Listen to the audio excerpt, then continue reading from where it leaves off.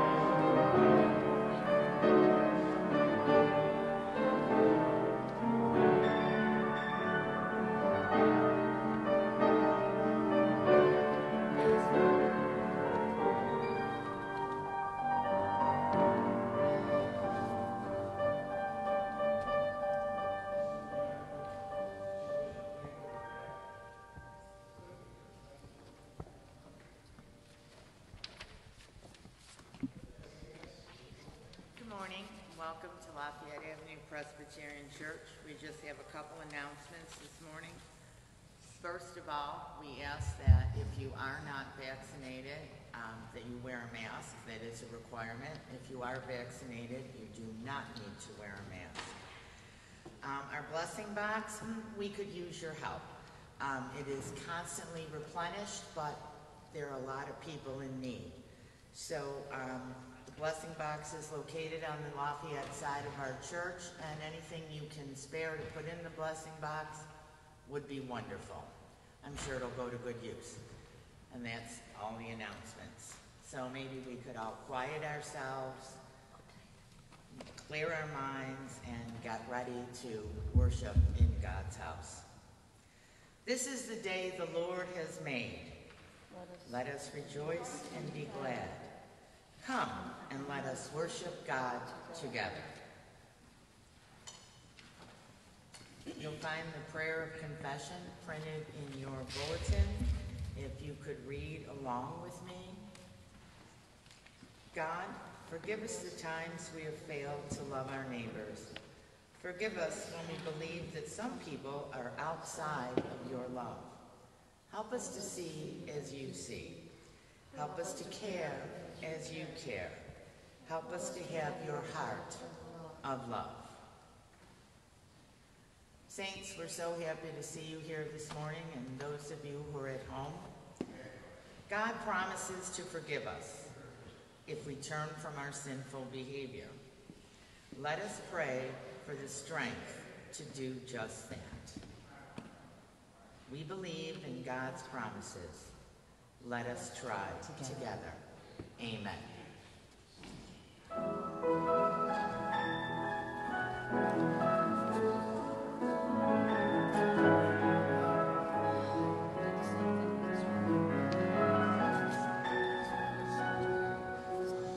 Standing with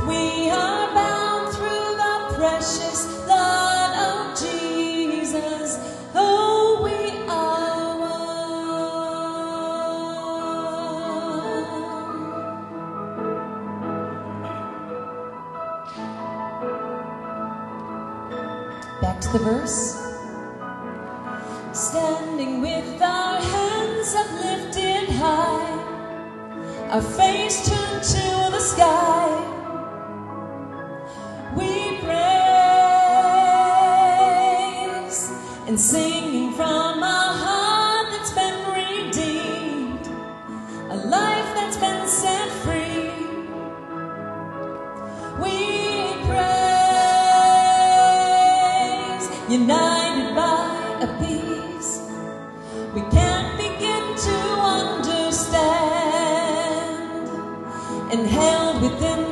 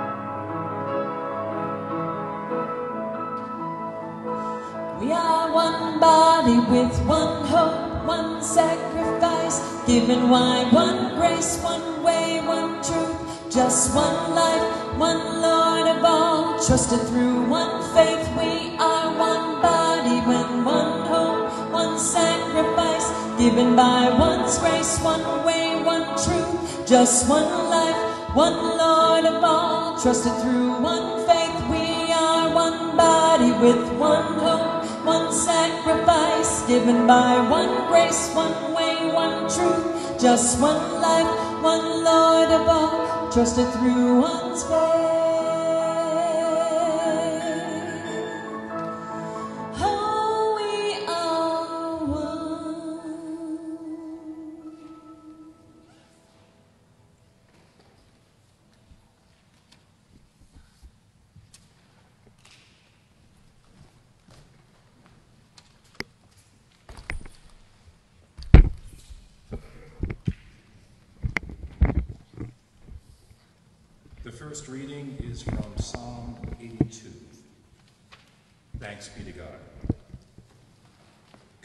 Has taken his place in the divine council.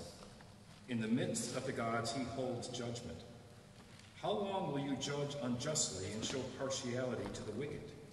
Give justice to the weak and the orphan. Maintain the right of the lowly and the destitute. Rescue the weak and the needy. Deliver them from the hand of the wicked. They have neither knowledge nor understanding. They walk around in darkness. All the foundations of the earth are shaken. I say, You are God's children of the Most High, all of you. Nevertheless, you shall die like mortals and fall like any prince. Rise up, O God, judge the earth, for all the nations belong to you. Second reading is from Romans 8:31 through 38. Praise to you, Lord Jesus Christ. What then are we to say about these things? If God is for us, who is against us? He who, who, who did not withhold his own son, but gave him up for all of us, will he not with him also give us everything else? Who will bring any charge against God's elect? It is God who justifies. Who is to condemn? It is Christ Jesus who died, yes, who was raised, who is at the right hand of God will intercede for us. Who will separate us from the love of Christ? Will hardship or distress or persecution or famine or nakedness or peril or sword?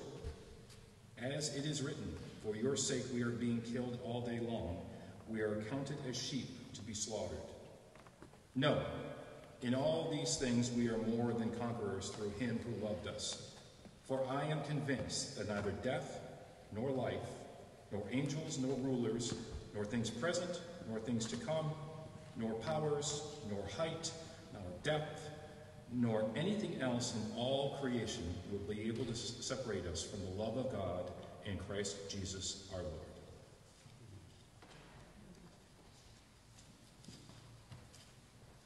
Well, good morning, everyone. Good morning. I am Randy Kramer. Um, as you know, um, many of you know, I am an avid golfer, and I had nothing to do with it raining today, so I could be here. But if I did, you better listen to what I have to say. Uh, no, just kidding. Uh, so, I've been, you know, I've been in church all of my life, and I've listened to pastors give sermons, and I was always impressed by pastors who started their sermon with um, some sort of anecdote that was funny, got people relaxed, listening, uh, and of course, the really good ones would tie it in to the sermon that they were about to say.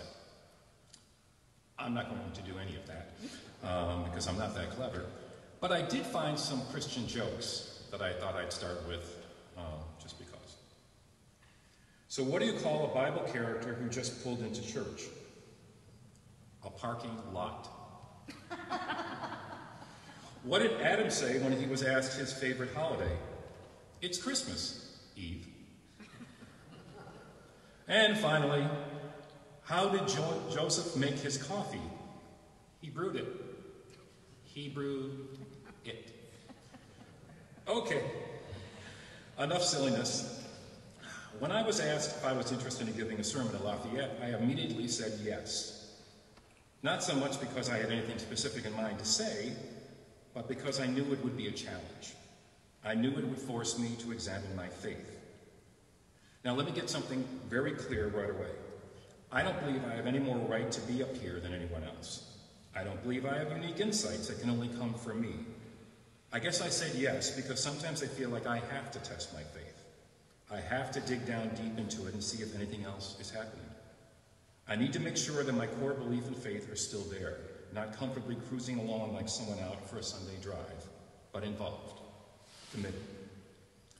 We read earlier from Romans, for I am convinced that neither death nor life, neither angels nor demons, neither the present nor the future, nor any powers, neither height nor depth, nor anything else in all creation will be able to separate us from the love of God that is in Christ Jesus our Lord.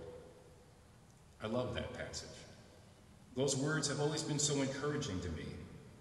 But I think they come with a bit of a caveat. Yes, it's true that Christ's love and grace are never ending and will always be there for us. But there's the catch that they are there for us, but we have to be receptive and prepared to not only receive them, but also to listen to them. I think that's one of the functions of Sunday service, to try and listen and discern Christ's love and where it can take us. But Sundays alone aren't enough. And if that service isn't compelling, you might not even be tuning into Christ's love at all. So, how do we get ourselves to become receptors for Christ on a daily, even hourly basis? Well, I don't know about you, but sometimes I need a visual reminder to get things done. Whether it's my Google Calendar or a written list of calls to make and emails to write in a workday, or my neighbors putting out their garbage and recycling totes on Tuesday nights to remind me that Wednesday is garbage day, visual references often prove to be the necessary kick in the pants that I need.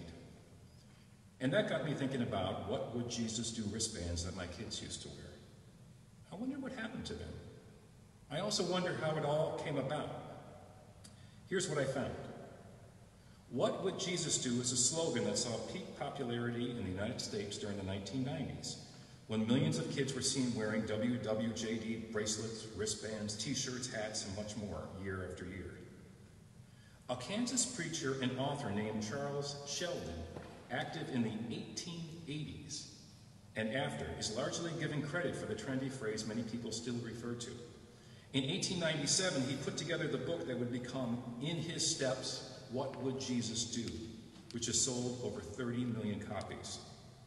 In 1989, nearly a century later, a youth leader read Sheldon's book and began sharing WWJD with her students to encourage them to live in such a manner. After her initial run of merchandise sold out, Neighboring towns quickly noticed the trend and began making merchandise of their own. It rapidly grew into a nationwide sensation that has since inspired dozens of creative works, including films, songs, and even board games. Despite disagreements in how WWJD should be thought of and lived out in one's life, it was and is an effective effort to balance two realities about Jesus Christ's deep, loving approach to personal relationships and his constant focus on truth in action are both defining components of his character. God is both perfectly loving and perfectly truthful, and Christ's life displays this for all who are willing to learn from it. Multiple Christian writers who came after Sheldon have condemned his thinking as self-righteous or even anti-Christian on the grounds that encourages people to think their behavior is on a par with Christ's. But defenders of WWJD state that he is not attempting to equate human capacity with Christ, rather human action can become more God-honoring and biblically aligned via intentional thought about how Christ wants us to live. I think who Jesus is and what he can do is more needed now than ever. The internet and Facebook algorithms have allowed millions of people to remain in their own information silos as long as they want. You can now find endless information that supports your own preconceived notions while blocking as many people and pages as you like. Why involve yourself with people you dislike if you can find out if you can find more people that are just like you? Over the years, political polarization has only grown in the United States. Individuals across both Democratic and Republican Party lines have more fervently supported their leaders and more strongly rejected the opposite party. So where does that leave us? Well, let me share a few thoughts with you. For the last few years, an old high school friend of mine and me had been having significant conflicts when it came to political views. We weren't super close friends, but we had gone to school together and had kept in touch afterwards. I was a willing party in our disagreements. I gave as much as I got in our back and forths. Well, one thing led to another, and our differences caused us to end all communication between us. I was fine with that. It seemed almost inevitable, and quite honestly, it was somewhat of a relief when it happened. A few weeks ago, I learned that his father, whom I had known since high school, had passed away. All of a sudden, those disagreements seemed unimportant. Death had shown me how I completely lost the true spirit of Jesus in this relationship. I never once asked myself, what would Jesus do during our clashes? I was cons- more concerned with proving him wrong, or proving me right, or simply winning. It all seems very pointless now. During COVID, shortly after the murder of George Floyd, our previous pastor, Pastor Micah, had wanted to put up a Black Lives Matter sign. To be sure, this was a politically charged time, and it is always difficult to balance politics and faith. But if we are truly asking ourselves what would Jesus do, we would be able to find an answer. Ephesians 6:12 states, "For our struggle is not against enemies of blood and flesh, but against the rulers, against the authorities, against the cosmic powers of this present darkness." Jesus never hesitated to speak out on behalf of the oppressed and to question the practices of the powerful. On Lafayette's Facebook page, it states, We exist for the good of other people. Pastor Micah's request for Black Lives Matter sign was turned down by session. Pastor Micah resigned from Lafayette in April without having another pastoral appointment. What would Jesus do about COVID? It has created and continues to create more division. Here at Lafayette, the mass mandate for unvaccinated people is not really enforced. The argument from some is that antibodies are present and so a mask is not required. Well, I'm not a scientist, although I can read their findings, but regardless, I will leave that argument alone. What is very clear is that an unvaccinated person not wearing a mask can make other people very uncomfortable. And isn't that wrong? When I look back at Jesus' life, I don't ever remember him ignoring other people's feelings just to make himself more comfortable. He would call institutions and people out if he thought their actions were wrong, but he would never look out for himself before his neighbor. Philippians 2 4. Do not merely look out for your own personal interests, but also for the interests of others. Romans 12 10. Be devoted to one another in brotherly love, give preference to one another in honor. Galatians 6:10.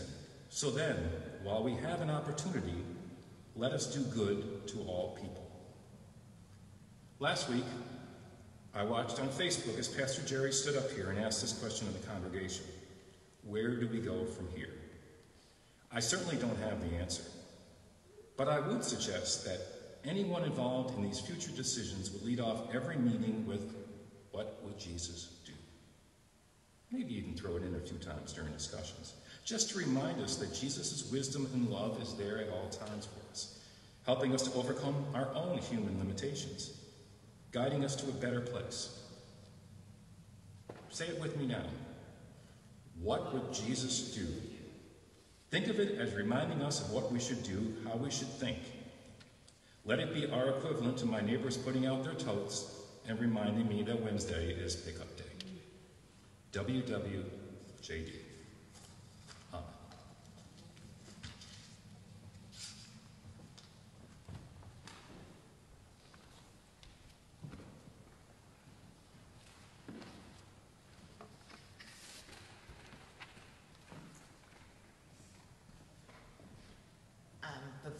do the um, prayers of the people and the Lord's Prayer, I would just, because of Randy's sermon, I really feel I want to put this in here right now. Our um, nominating committee is now looking for people to serve as elders and deacons. And we would be thrilled if you would approach. I happen to be the chair this year. If you have interest in serving as an elder or a deacon, we would love to have you come and participate and be part of moving this church forward. Um, the only requirement is that you be a member of Lafayette Avenue Presbyterian Church and have a willingness to serve. Um, my phone number is not listed, and I'm not going to put it out on Facebook, but um, you can always call our church office, and Patty will um, get you in touch with me. So just a little, you know, piggy bank on what um, Randy said, we, we can all serve and we can all have an influence in the decisions that this church makes moving forward, hopefully, quote unquote, post COVID. So, the prayers of the people this morning. Um, if there's anyone who's um, requesting specific prayer, if you'd raise your hand, I will. Um, we will pray for that specific prayer, and we know that all of you probably have your own personal prayers, which we will pray for as well. Tracy? Um, my brother-in-law Kevin, um, he has a dog, Willie, that's an older dog, and just found out, um, that Willie has cancer.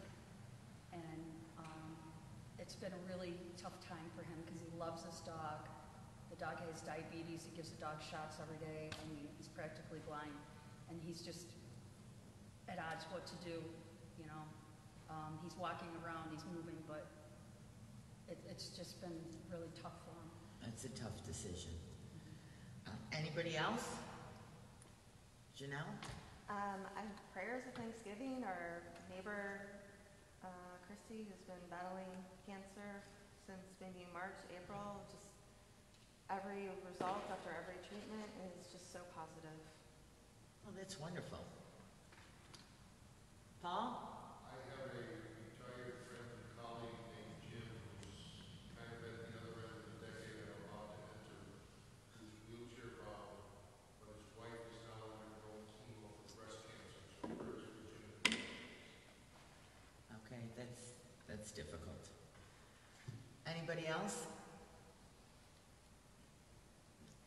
Okay, well, this morning, if we could all pray for all of the things we have heard this morning. We pray for Tracy's brother-in-law, Kevin, who has a dog who I'm sure he is, named Lily, who I'm sure he is struggling with the idea of whether or not to put her down. And a lifelong companion, whether it be a dog or a human, is um, very difficult. So we pray for him to make the decision that is best for both of them. We also um, are so grateful for um, Chrissy's recovery. We've prayed for her in church um, over these months, and um, she's gotten all positive results, and so that's wonderful. And we thank um, Janelle for sharing that. And for um, Paul's friend Jim, who is aging, hopefully wonderfully, but his wife is currently undergoing um, chemo, and uh, I'm sure he could use our prayers of support and guidance and ways to help her. So, with that, we also pray for our church, for guidance for how we are going to move forward. Um, it is important that we maintain a worship facility on this corner and that we reach out to our community and together and collectively we can find ways to spread love and figure out what would Jesus do. So with that, I ask you to pray with me in the words that we've been taught. Our Father, who art in heaven, hallowed be thy name. Thy kingdom come, thy will be done, on earth as it is in heaven. Give us this day our daily bread, and forgive us our debts as we forgive our debtors. And lead us not into temptation, but deliver us from evil. For thine is the kingdom, the power, and the glory forever. Amen. Well, this morning it is our time of offering, and we know that everyone who, you know, might like to contribute to our church is not here. So I am going to tell you the ways in which we can all participate in helping to make this church a very viable and vibrant community. And be assured that we are good stewards of all money that we are able to take in for the spread of Christ's Word. So today, um, by way of tithe and offering, there are four ways you can give. You can follow the link provided on your Facebook live screen located in the comments section. You can place your in-person gift in the offering plate directly behind you during the offertory or as you exit the building. Um, you can always find us online at elmwoodjesus.org to virtually give, or you can mail us a check at 875 Elmwood Avenue, Buffalo, New York, 14222. However you may choose to give, may we all do it in worship of the Lord.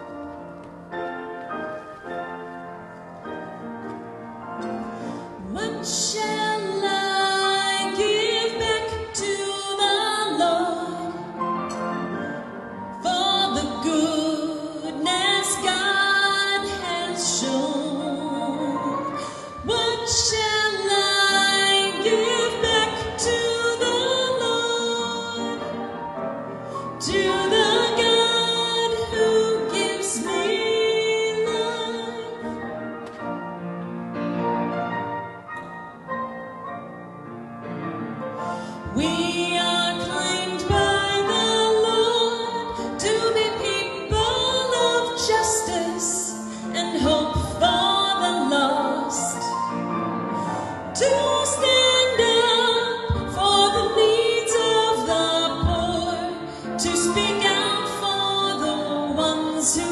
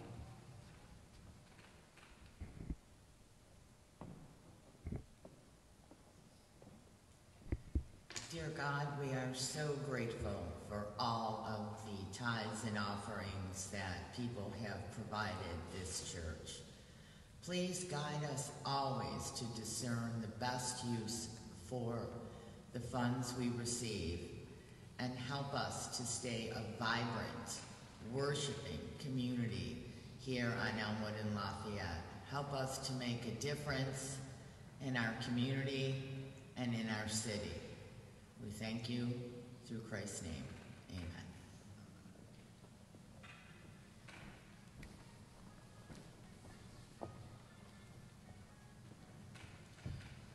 Above all, clothe yourself with love, which binds everything together in perfect harmony. And let the peace of Christ rule in your hearts, to which indeed you were called in the one body. And be thankful. Let the word of Christ dwell in you richly. Teach and admonish one another in all wisdom, and with gratitude in your hearts, sing psalms, hymns, and spiritual songs to God. And whatever you do in word or deed, do everything in the name of the Lord Jesus, giving thanks to God the Father through him.